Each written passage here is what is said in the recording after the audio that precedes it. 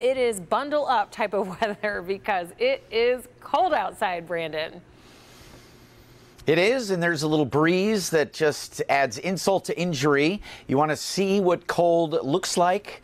Look from our Penobscot camera. I mean, downtown Detroit, and then you look at the river, and then you look at Canada, looks even colder. You know what, though? This is how it's supposed to look here at the end of January. Finally, some ice in the river, 21 degrees, Detroit and Ann Arbor. Look at that north northwest wind that is anywhere between 7 and 14 miles an hour. So these low 20s right now still feel like single digits. Whew.